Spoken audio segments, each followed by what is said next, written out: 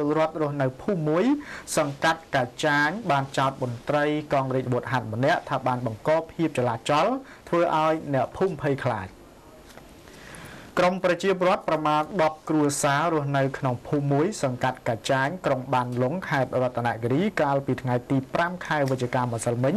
បានលើកគ្នាមកដាក់ពាក្យបណ្ដឹងឲ្យមានការជួយអន្តរាគមន៍ចំពោះមន្ត្រីកងរាជអាវុធហត្ថម្នាក់ដែលតែងតែបង្កភាពចលាចលធ្វើឲ្យអ្នកភូមិមានការភ័យខ្លាច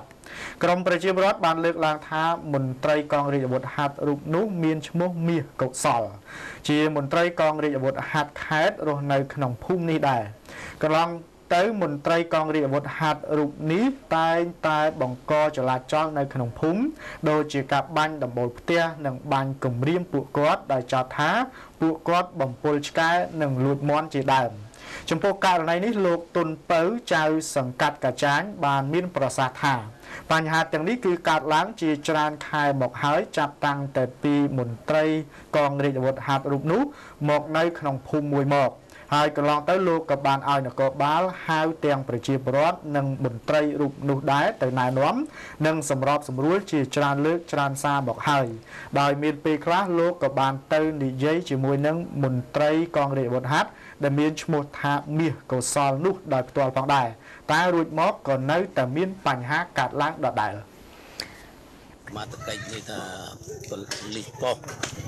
ហៅទៅដោះស្រាយរហូតដល់សម្របសម្រួលថាយើងស្វែងរកអាការពិតមិនឃើញរហូតឲ្យគាត់ស្បត់ស្បាយទៀតទាំងសងខាងនោះបាទនៅតែបញ្ចប់នៅតែមានបញ្ហាបន្តគាត់ប្រជាពលរដ្ឋនោះគាត់បានប្តឹងទៅខ្ញុំច្រើនលើច្រើនសារណាប៉ុន្តែយើងដោះ បាទដោះបានហៅទៅសម្របសម្រួលទៅដោះស្រាយនៅសាលាសង្កាត់ហ្នឹងទៅបាទបាទហើយរឿងមួយទៀតនោះគឺខ្ញុំបានរាយការណ៍ទៅតាមខ្សែបដោយបង្គាត់ហ្នឹងណាបាទទៅ PM ក្រុងក៏ដូចជាទៅ PM ខេត្តដើម្បីឲ្យធ្វើមិនឲ្យគាត់សម្របសម្រួលរឿងហ្នឹងដោះស្រាយឲ្យបញ្ចប់បាទជាមួយជាប្រវត្តិរហូតដល់ខ្ញុំនិយាយជាមួយគាត់ខ្ញុំថា យើងជាសមាជិកហើយយើងអ្នកច្បាប់អ្នកទលាប់យើងអាចយល់ពីផ្លូវច្បាប់ច្រើន ជាងជាប្រវត្តិយើងកុំប្រកែកកាន់អីជាមួយជាប្រវត្តិហើយសំខាន់ការតំណាក់តំណងល្អជាមួយជាប្រវត្តិព្រោះជាប្រវត្តិខ្ញុំ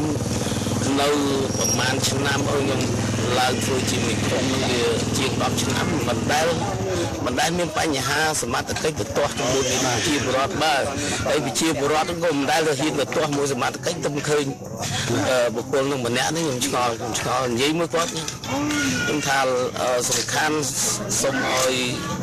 លោកសល់ឯងនឹងតំណតំណងជាមួយជាបរដ្ឋឲ្យល្អទៅវាមិនជាបញ្ហាអីទេហើយជាបរដ្ឋគាត់មានសមត្ថភាពមានលទ្ធភាពហើយឬមានមានសិទ្ធិអំណាចអីទៅគម្រាមកំហែងពេកអត់ទៅរកបាញ់របស់អីនោះវាមិនមានបាទហើយបើសិនជាមានករណីនឹងមែនខ្ញុំថាឲ្យស្រាវជ្រាវឬមួយរកផតតាងជាក់ស្ដែងមកខ្ញុំធ្វើឲ្យបានហើយបើសិនជានិយាយតែមាត់ទេឬថាបាញ់បាញ់អញ្ចឹងខ្ញុំមិនដឹងថាទោះ ជាយ៉ាងណាក៏ដោយក្រមប្រជាពលរដ្ឋដែលរស់នៅក្នុងភូមិមួយ សង្កាត់កាចាញក្រុងបានលុងបានសំណូមពរដល់អាជ្ញាធរសូមមេត្តាមានវិធានការចំពោះមន្ត្រីកងរាជអាវុធហត្ថរូបនេះដែលជាអ្នកប្រតិបត្តិច្បាប់ក៏ប៉ុន្តែបែរជាបំពានច្បាប់ដោយការបាញ់បោះសេរីនៅក្នុងភូមិធ្វើឲ្យប្រជាពលរដ្ឋមានការភ័យខ្លាចទៅវិញ។